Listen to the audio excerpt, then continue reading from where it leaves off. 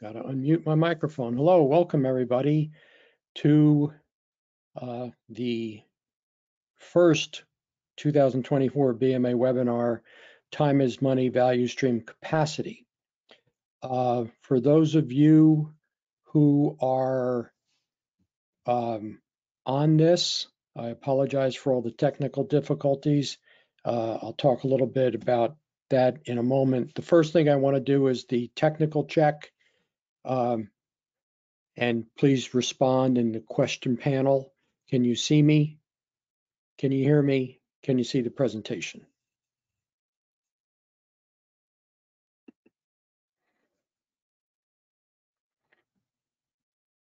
All right, great.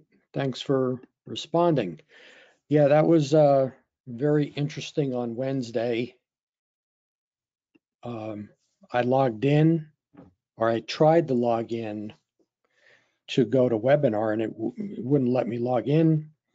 And I even, it was really, really strange. And uh, I did it many times. I restarted my computer and I thought it was on my end. And then uh, a few minutes before the webinar was supposed to start, I did look on the support page and it said there was an outage, which probably about 30 minutes later, it was over uh, and everything was working, but I didn't want to try to start the webinar 30 minutes late. And then um, at first you received the message, you can use the link because go the go to webinar page still showed the webinar is a, a new webinar. And then somehow it changed it to a past webinar. And so I couldn't use that link anymore and I had to recreate the webinar. So that's why you got all those emails. So uh, for all of those who, for those of you who are attending live, thank you. And then hopefully the rest of you will see this on the recording. So uh, technical check, or no, we did the technical check. Attendee administration. All right, so if you um, want the handout, it's in the uh, handout section of your control panel. You can download it. If you are, if you forget to do that, or if you are watching the recording of the webinar and you'd like a copy of the handout, please send me an email and I'll um, send it to you. And if you are a uh, certified public accountant and would like continuing education credit for this, and I can I can send you a certificate. Uh, all you have to do is stay on the webinar for 50 minutes, answer three of the four polling questions, which will come out. And then I'll say, just email me, say you'd like a certificate, and I'll get one to you, and we'll go from there. Okay. So what do we want to accomplish today? First of all, to develop a good understanding of why measuring capacity is necessary in a lean management accounting system and a lean company. Understand different types of activities in lean companies. Get a good understanding of which method of measuring capacity should be used in any process or value stream and understand the data collection excuse me requirements to measure capacity. So I'm going to sort of start out by talking a little bit about lean thinking and and dive into why capacity is important. But before I get started about that, I was um, waiting to start this webinar and I, I thought a little bit about how I learned about capacity. And when I first uh, got involved with lean accounting as a, cert, a CFO in a manufacturing company, we never really talked about capacity. But then when I met Brian Maskell and, and, and started working for him about 22 years ago, he and his, uh, and Bruce Baggaley, who is also retired, they worked very, very hard to develop a lot of what you're going to see. Um, I've taken it and made some changes over the years, but it's pretty much, the- I, I, wanted to give them credit for being able to, to create a method to, to calculate and quantify capacity. And uh, it's still, it- it's, it's a very important number in a lean management accounting system. Now, you know, some of you may work in companies that calculate capacity. Typically, this is done in a very uh, traditional way. Uh, it could just be total total time. Uh, a lot of times in manufacturing, uh, using ERP systems, it will calculate capacity based on uh, like standard hours or machine hours or machine availability, things like that. So, you know, the, the word capacity is, exists in companies. Um, this is a different way to measure and calculate it. And the primary reason that it's different is because of how lean companies and lean thinking in general views time. So uh, easiest way to describe a lot of the different lean tools and practices is understanding what we are spending our time on. And and lean really works at developing a deep understanding of this. It's it's it's it's part of the fabric of lean thinking, lean tools, and lean practices. and if you're talking about, excuse me, any value stream, any process step, any activity, you can you there's three categories of how you can char- char- char- characterize or allot the time. One is it can be value added.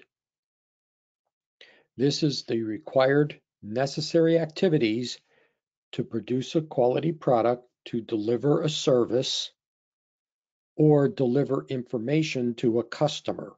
So yeah, you have to perform these activities. Okay.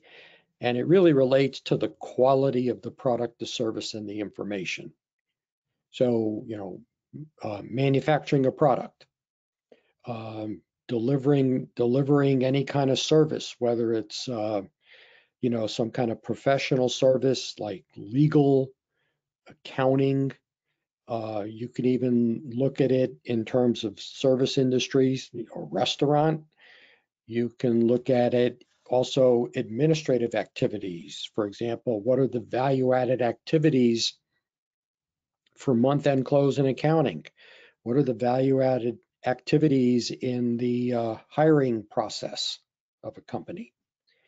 Then there are non value added but necessary activities.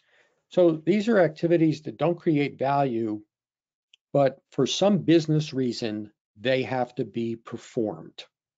Okay, they're think of them as a business necessity. And then the third type of activity, non-value added and waste. So the the wasteful activities, and you know, you can look at the acronym downtime, defect, uh, defects, overproduction, waiting time, neglect of human talent, transportation waste, um, inventory waste, motion waste, excess processing. Those are the other categories of activities, and everything can be categorized in one of these three buckets. And it and it's really important. I mean, this goes on in a lot of lean practices, but what we're trying to do here with capacity is take what is very common and logical in lean and turn it into numbers to use to measure and calculate capacity. So when you think about continuous improvement, this is where there, there's this, we, I'm trying to build this linkage. So if you think about value-added activities and, you, and you know, those are really related to serving the customers. Over time, through continuous improvement, you want to spend more time on those activities. The necessary non-value added activities, okay, those are for some business reason we have to do them. Inside those activities, there is waste. Okay, and so what you want to do is you want to find the waste in those business, in those necessary activities and lean them out. And then there's the unnecessary eh, wasteful activities you want to reduce and eliminate. So, you know, everyone thinks about eliminating eliminating the downtime waste, which is very apparent.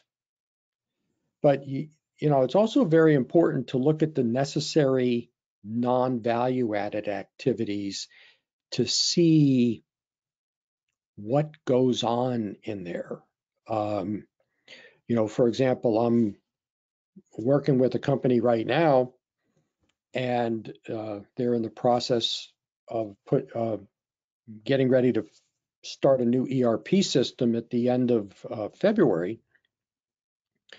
And one of the things that the new ERP system is going to do is eliminate the waste of having basically two bills of material. So I'm looking at a necessary non-value added uh, activity example, bills of material, okay?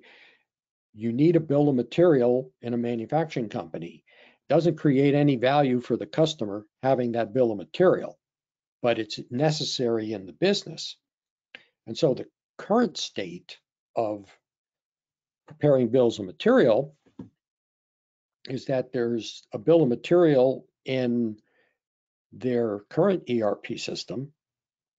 They also create an Excel-based bill of material, which has all the information from the ERP system, but then there's additional information in terms of things like work instructions and special instructions that cannot go into the ERP bill of material. So they they have two bills of material. So every time they set up a new product, they have to set up two bills of material. And then you have to maintain both if there's any changes. So there's a lot of wasteful activities there. Now, with the new ERP system, one of the things that we configured in was one bill of material. And we work very hard with the people that do the bills of material and the ERP system to make sure that the information on the Excel bill of material that existing cell bill existing bills of material in Excel are now being configured into the ERP system. So that's a long-winded example. So we have continuous improvement. And what does that lead to? Okay, when you make improvements and you lean out things, you eliminate waste, you create capacity, you stop doing things. Okay, you you do less wasteful activities, uh, you eliminate stuff. So you're you're creating more time. Okay, now, from a lean accounting point of view, the issue is what do we do with that time? Now, if you don't measure it, you don't know. Intuitively, you may know you're creating time, but how do you actually put a measurement on any particular improvement activity? What did we get out of this? Okay, it's not always, for example, cost savings. It could just be creating capacity. So it depends on what you do with that time. For example, let's use uh, reducing the changeover time on a machine. So let's say it goes from two hours to 15 minutes. So you pick up one hour and 45 minutes of capacity per changeover. What can you do with that capacity? Well, if there's demand, we can produce more on that machine and uh, ship the product. Okay, so what's the financial impact of that? You know, in other cases, maybe not machine changeover time. Well, yeah, let's think, but let's keep the machine changeover time.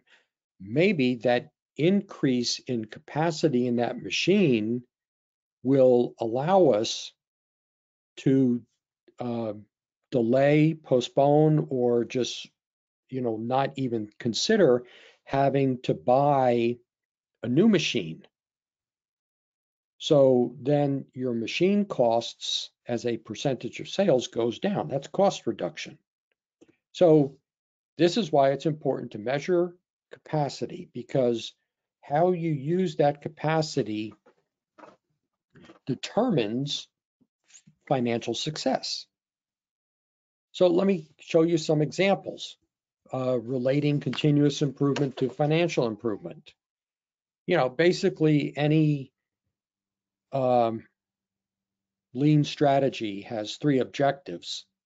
Serve customers better, improve process performance, respect for people. Now, you might hear it a little bit differently, but that's pretty much what it is. So if you want to serve customers better, you focus on improving delivery, improving quality, and improving lead times. So if you improve delivery, the potential resulting financial improvement, if you're increasing capacity, is to increase sales without increasing costs. In terms of improving quality, you can increase sales, reduce material cost. Lead time. You can, with shorter lead times, serving customers better, increase sales without increasing costs. When it comes to improving material flow, you can increase the contribution margin, less material, improve cash flow, less inventory. Productivity and cost, if they're sort of related, you can reduce your fixed costs over time and productivity drives an increase in capacity. Safety and morale, even though they're focused on people, they go, you know, improving safety and improving morale goes a long way to managing costs. For example, uh, you know, there's there's financial there's financial impact of of accidents. You know, insurance rates, workers' comp rates. Um, you know, there's morale you know, uh, having a better workplace environment and respecting your people, you know, it reduces turnover. And there's there's a great deal of savings there. So that's just an overview of lean thinking and why capacity is important. So let's do our first polling question. And I'm going to launch it. And I'm going to look to see if anybody has asked any questions. I don't see any at this time. You know, please, if you have a question, drop it in at any point, and I during the polling questions, I can maybe get to some of those questions.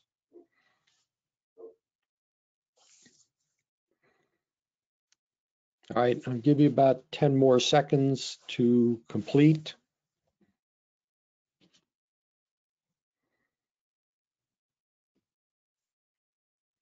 All right, I'm going to close the poll. Not going to share the results.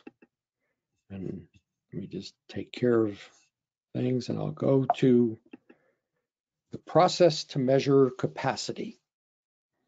Um, you know, like I said, over the years, I've worked with many companies and many types of industries to help them calculate and measure capacity.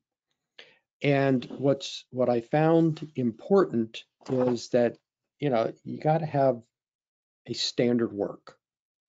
or I'm sorry, you have to have standard work, a process. And it's important for any company, whether you're working with me or doing it on your own, to have a standard method of measuring capacity. Now, this is going to be a new process. Okay, so people have to learn how to do it. And if you know anything about standard work, you want to be able to document this, make sure that that you know if you have different different groups of people calculating capacity that they're calculating it similarly. Okay, you don't want seven versions of capacity going around.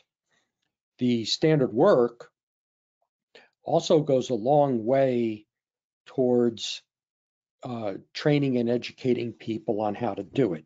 So these are the basic steps of uh, calculating capacity. Now I'm going to go over each of these steps in a, a level of detail. So the source of the data. And you really have two choices. You can look at a specific process step, for example, in a value stream, or you can look at the, the uh, capacity by sort of position or job or employee. Okay, so let me explain. Here's the here's the differences, and it's pretty logical. So process step. It's best to use when the value-added activities must be performed in a specific sequence. Think manufacturing, think of a product, okay? You have to, that, that, that product to be produced in the quality specifications can only be done one way. And it had, and, and the, the process of manufacturing and assembling has to be very specific. You have to do step one, step two, step three, step four. You can't do step three before step one. Okay. And there's other processes like that. For example, um, any kind of testing laboratory, you have to follow a specific sequence. So if that's the case, look at process step. Now, position or employee activities you you it's best to use those when the exact sequence of the value-added activities can vary. So this is typical in, for example, service industries, um, intangible product information. There's a typo there. It's productor. It says productor information. It should be product information. So you think about like healthcare. You think about accounting and administrative processes. Uh, you know, for example, in accounts payable, you know, there are specific steps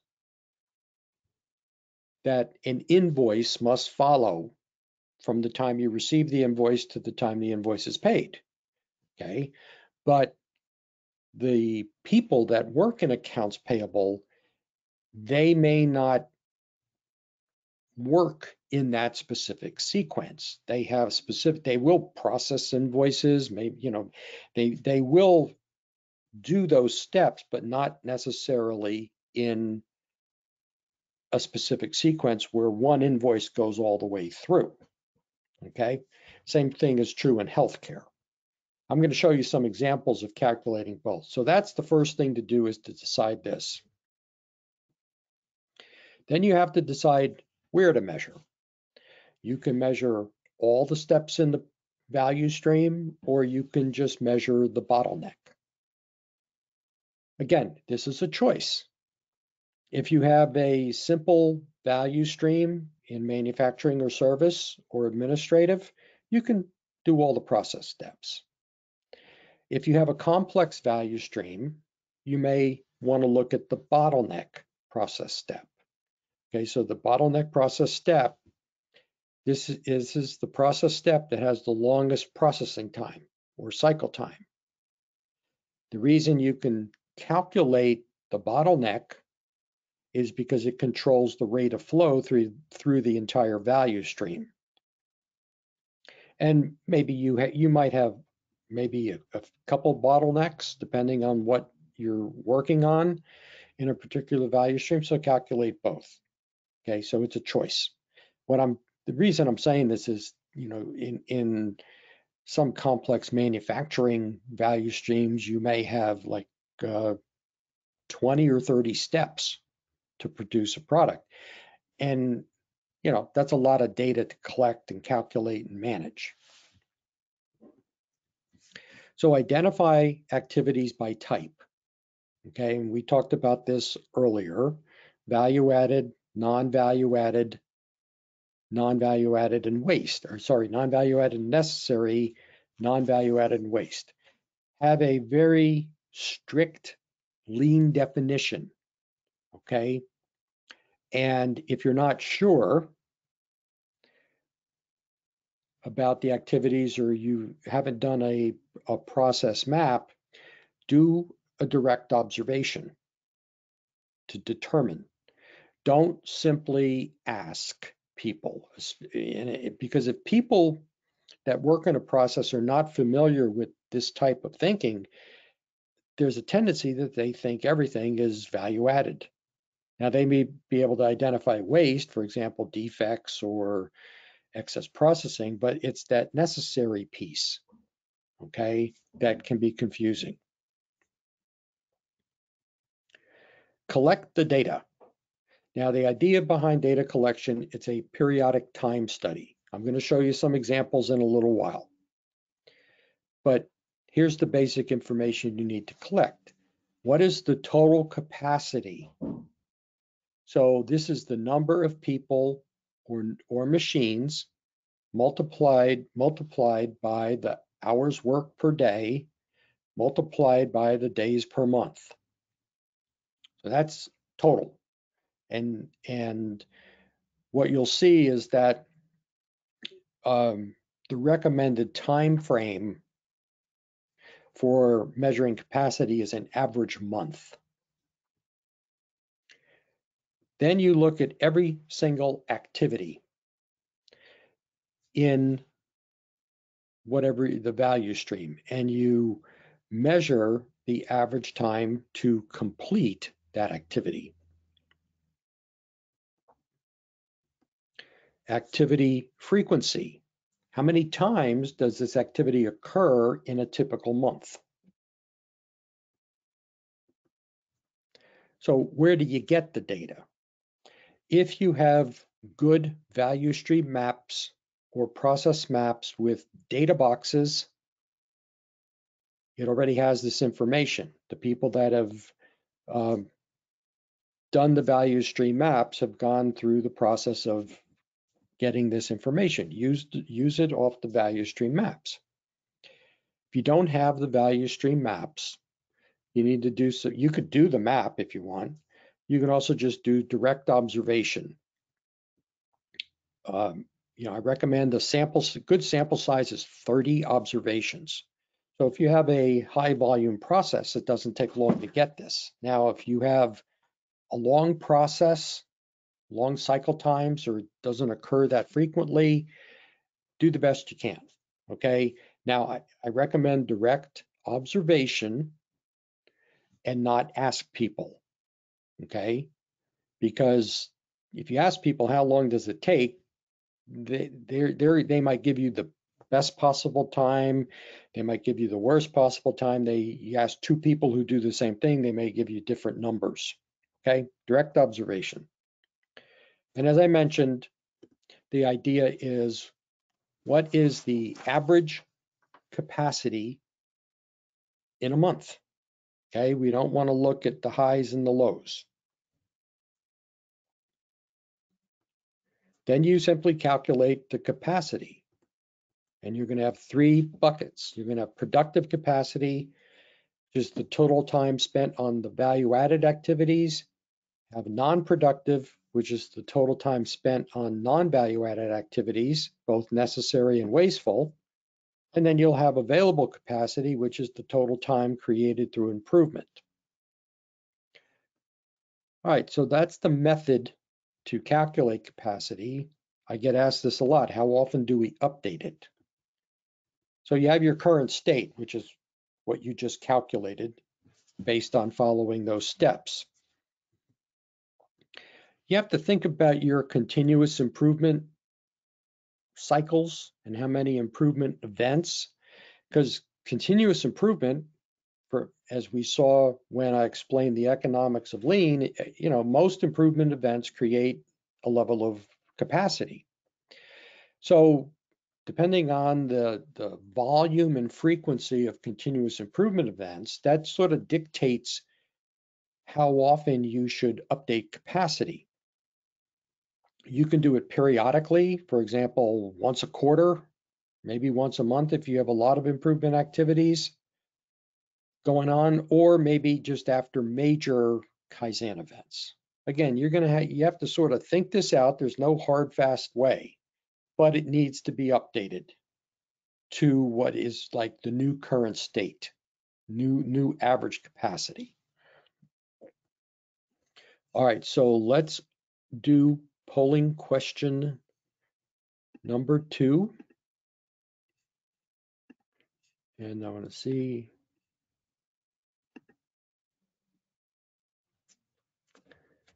Okay, so there was one question, Eric asked me, what about the most costly step versus the bottleneck? Uh, that's an interesting idea. Um, it, the only difficulty there is uh, how do you define the most costly step without going through a, a, a big allocation of cost? That's that's my only thing right there. That but it's it, it's interesting. All right, so let me uh, close the poll. Not going to share the results.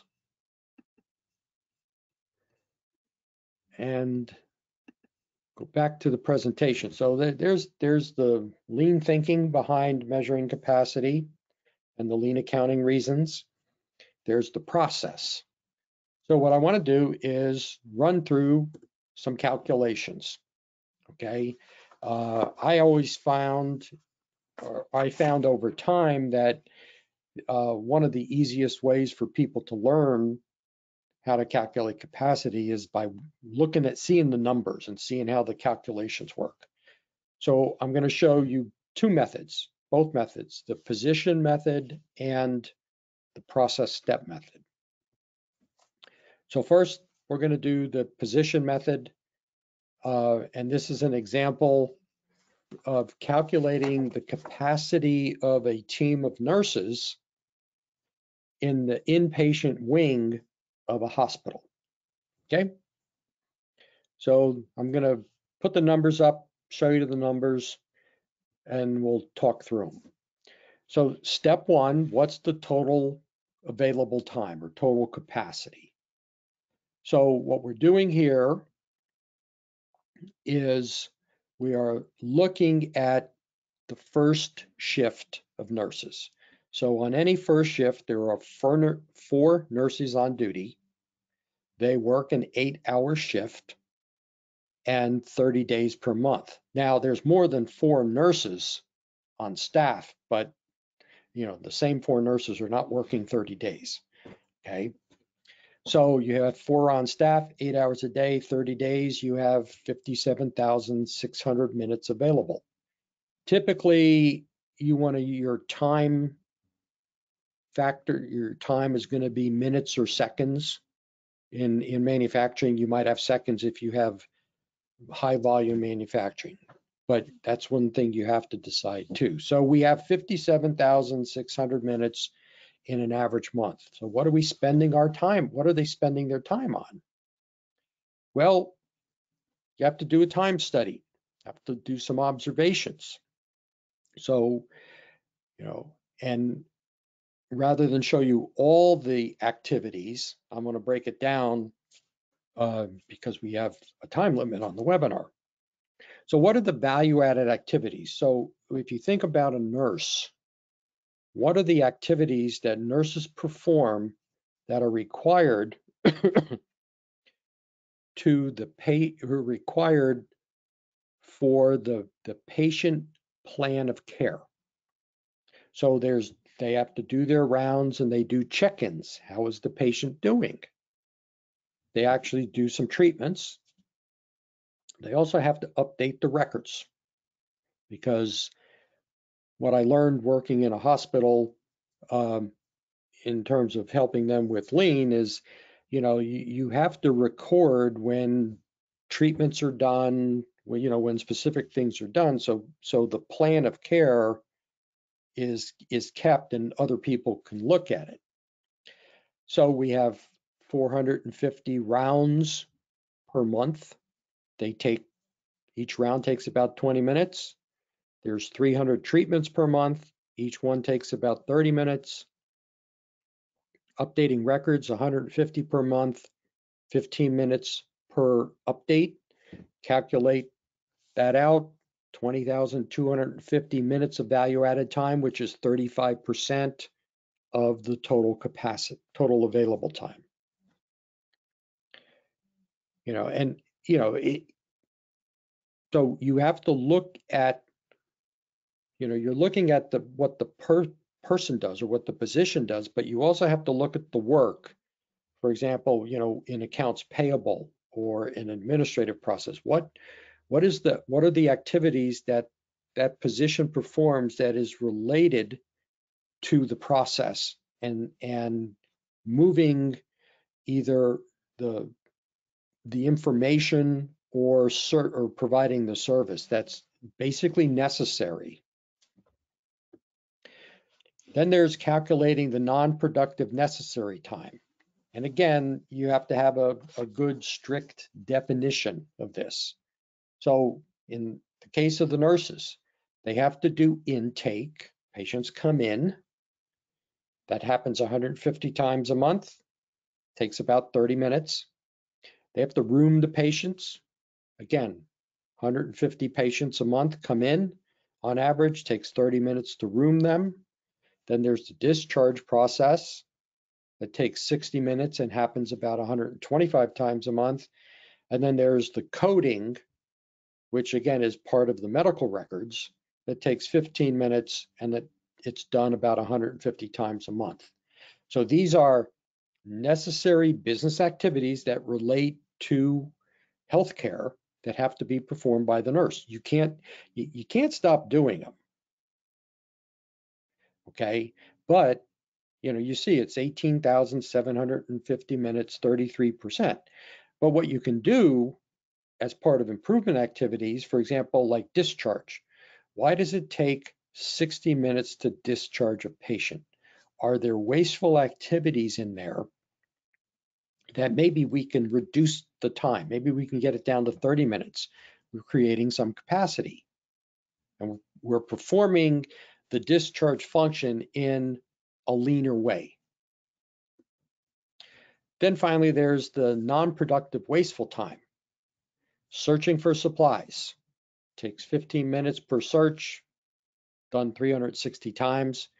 There's messages, there's phone calls, there's meetings. You can see how, on average, how long it takes to do each. Again, do the math. 21% non-productive capacity. And then you summarize this.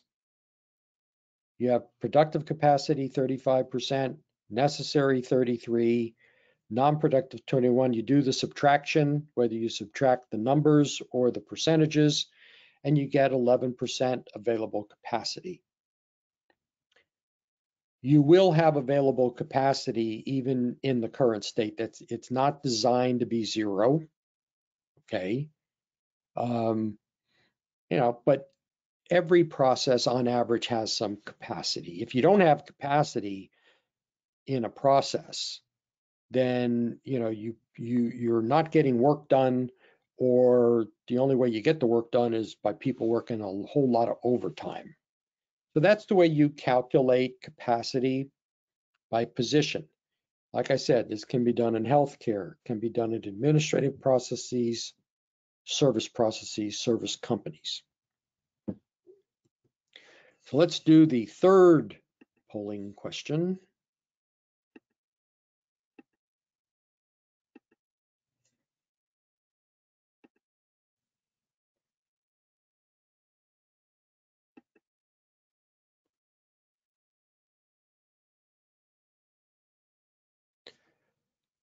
All right.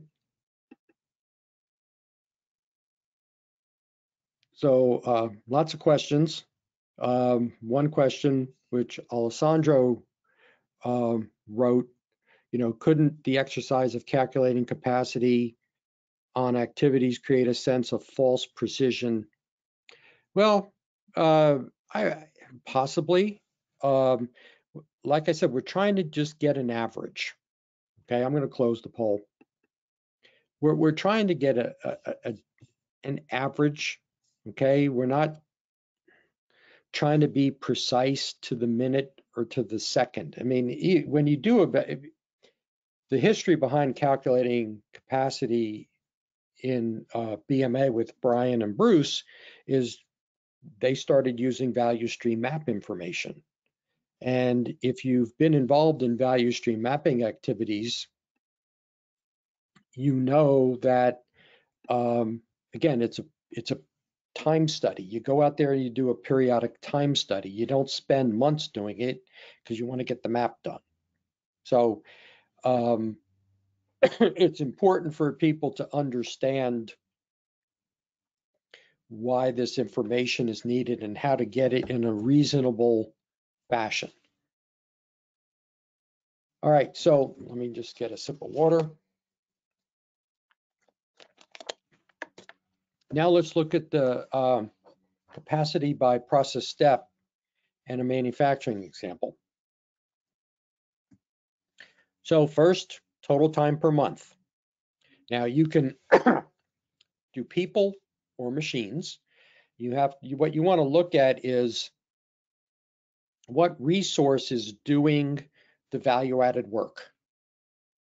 Okay, now in a value stream, you may have people doing it in one process step or in one cell, machines doing it in a different cell. So again, if you're doing the whole value stream, look at each cell, what resource is doing the work. If you're doing the bottleneck, what resource is doing the work. In this example, it's people. So very similar, how much total average time do we have? Number of people, number of shifts, and that's the typical number of shifts. So if you only run one shift, you only calculate it on one shift. You don't calculate it assuming you can add a second or third shift. And, uh, you know, how many days in the month? Back out time when the resource is not working, lunch and break. So in this example, you get 126,000 minutes. Then you go into the productive time. The productive time is how many units are produced and shipped. In this case, 4,875. you see there's units produced 5,000, so there's a bit of overproduction, which is going to show up on the non-productive side. What's the average cycle time per unit? 10 minutes. So we get 48,750 minutes, 39% of 126,000. So what are some of the variations here? Number of units shipped. Got to get an average. Now, in some cases, especially in manufacturing, you have lots of different units going through a value stream. You know, uh, use the 80 20 rule that 20% of the products are 80% of the volume and just get that average in terms of units shipped and cycle time. Or you can take some kind of sample. Okay but you have to go through this uh, you know to you have to make some like rational decisions about how to get it. Again this goes back to the whole precision thing you know. It would be a very long time study to observe every product going through a value stream and you know how many units and what is the cycle time then you calculate the non-productive and waste time. So in manufacturing, that's going to be changeover time. So what's the typical batch size? How long is the average changeover time? 500 is the batch size, 60 minutes per changeover, 750 total minutes of changeover time. There's the overproduction 125 units, takes 10 minutes to produce that unit. Total overproduction time is 1,250 minutes. About scrap and rework? What's your average scrap rework, rework rate? In this case, it's 20%. That means 1,250 units are scrapped, and that's 12,500 minutes. Percentage of items inspected, okay? 30%, 6,250 items are made. That includes the ones that are eventually scrapped.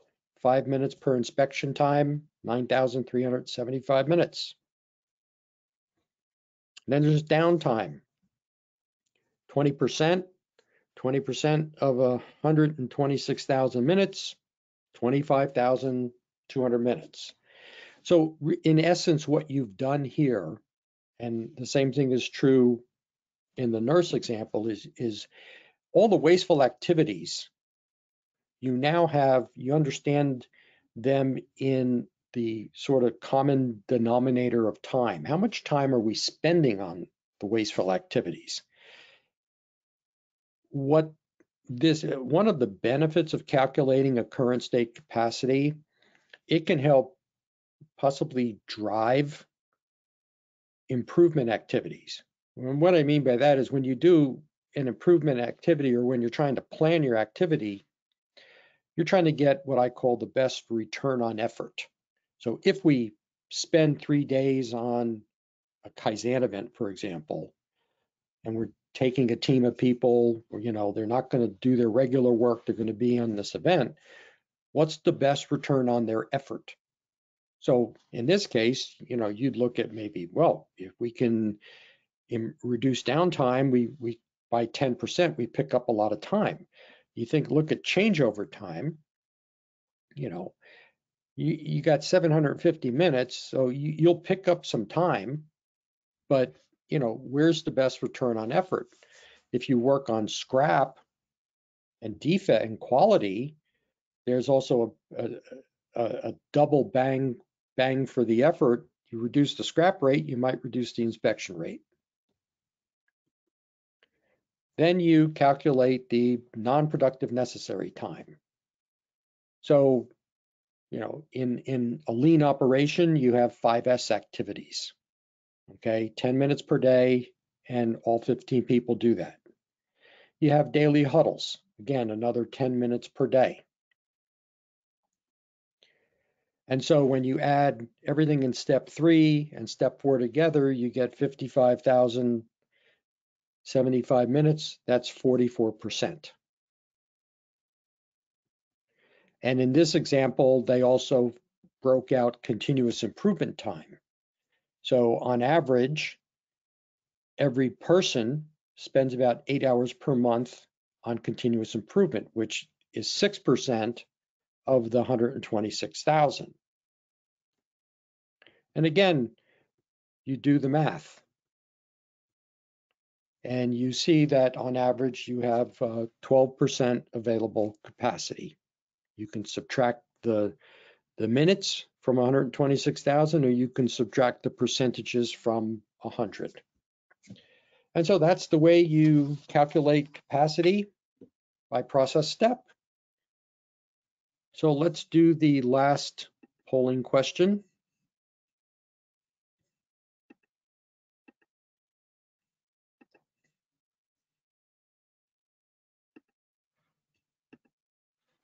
So while I'm doing the poll, uh, somebody asked, can we use OEE numbers for step three? Uh, yeah, possibly. I, I've had a few companies that that that's how they uh, that's what they preferred to do in terms of it. Uh, there's a lot of similarities between that capacity, my the capacity calculator I showed, and and the typical OEE. Um, and then uh, Eric, you know, said, seems like a, a max average and minimum capacity would be interesting. Yeah, I think, you know, that I like what you said here is it gets management attention. And, you know, that, that's the thing, I'm gonna close the poll. Um, that's the thing about turning this concept of capacity into numbers that are related to lean. It is very, very revealing. And, you know, it, it, it does get people to focus on what is important.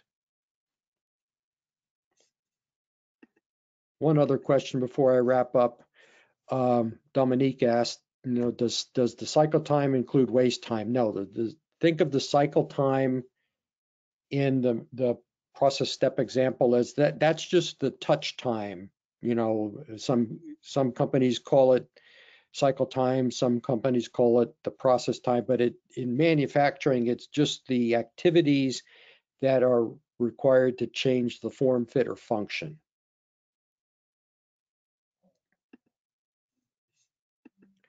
All right, so let's wrap up and then we'll look at a few more questions. All right, so uh, the wrap up here is about just, you know, how do you use this? So here's, here's a simple example.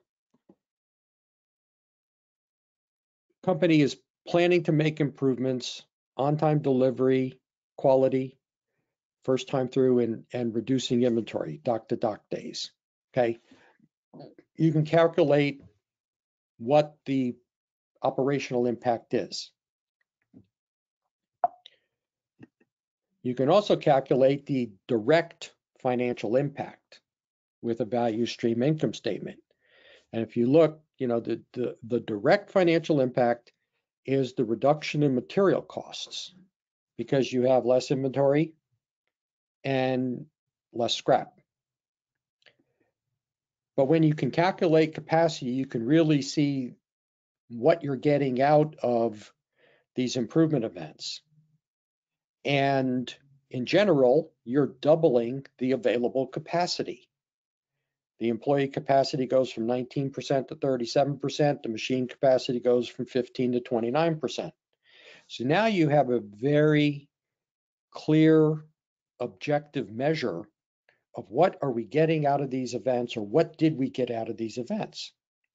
Then the question becomes, what do we do with that capacity? And, and this is where the, you can leverage lean for tremendous financial improvement. So in this case, there were three options. You could transfer people out. That's to remove unneeded. And you can see that would reduce the conversion costs. You can see what it does to the available capacity. You can increase sales, and you can see the impact on increasing sales, keeping the conversion cost basically the same, and improving profitability. The other option was insourcing some uh, production process that was previously outsourced where you reduce the material cost. So now you can really see the true relationships between improvement, capacity, and financial performance. Another example is labor and managing labor costs, which is very important in companies, but when you start looking at it in terms from a lean viewpoint and a lean accounting viewpoint, you, you stop thinking about reducing headcount. We just got to get rid of people. And you think about what are we doing with the capacity we're creating? So if you focus on improving productivity and you create labor capacity, what do we do with it?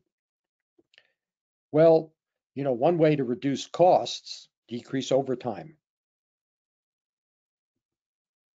Don't replace people. Okay, you know, and I'm when I talk about that, I'm talking about natural attrition. Okay, and if you have a measure of capacity, and you know what the available capacity is, you should be able to understand if we lose one person, what does that do to our available capacity? You know, do we still have, it goes down, but we still might have enough capacity to meet demand. You can also do strategic redeployment, the previous example. The capacity, the, the value stream that did the improvement had available capacity and you were able to, uh, they were able to transfer some people to another value stream that needed capacity.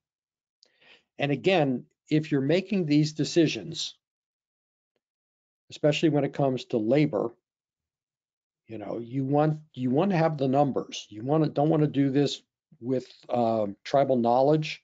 You don't want to make false assumptions. What's the goal? Reduce labor costs as a percentage of sales.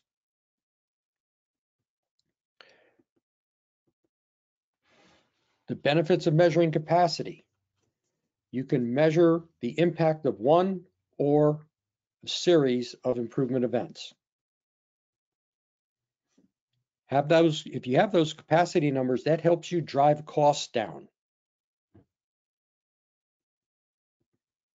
You can calculate the actual profitability of decisions. You know, for example, if you have available capacity and you have an opportunity to sell more, the financial impact is there's an increase in sales. If, if it's manufacturing, there's an increase in variable costs and an increase in contribution margin. There's no change in fixed costs. You can calculate when to add people, when to add equipment. And it also is very helpful in uh, planning, whether it's strategy deployment or any kind of sort of long-term forecasting of when, how much capacity will be created over the course of a year with our planned events, or if our demand is um, going up, when will we have to add capacity? So that wraps things up. And uh, just a couple things, you know, there's the lean accounting certification programs, one for lean management accounting, one for lean accounting process improvement. Each of these certifications, it's five one hour classes. They're online, on demand, self paced. Okay, there's some pricing. If you go to the uh, web page, you'll get more information. You have more information. If you have any questions, ask me. I also offer group pricing. Okay, both for the for both of them. I showed you capacity calculations. The capacity calculator templates are in what on the web page that where you can download the free lean accounting toolkit and you can use on your own. There's upcoming BMA webinars, okay? There's one on February 21st on value streams and March, the end of March, uh, planning a lean management accounting transformation. And then as we get closer to March, I'll be adding more webinars for the second quarter. And, you know, if you have any um, suggestions on future webinars, one, it's uh, in the survey, but you can always uh, just send me an email, say, you know, have you ever thought about this? And also on our uh, website, there's a link to all the recorded webinars that go, there's about maybe about 30 of them. All right, so um, I'm just looking at the questions. All right, didn't have any other questions, so uh, thanks for attending. Hope you learned something. Do you have any questions? Please contact me. And also remember, if you want any kind of certificate to send me an email and I'll get you that certificate. You will be receiving an email in about three hours with a link to the recording. And please feel free to share it with anyone that you want, and the link never expires. Thanks a lot. Have a good day and see you in a few weeks at our next webinar. Bye-bye.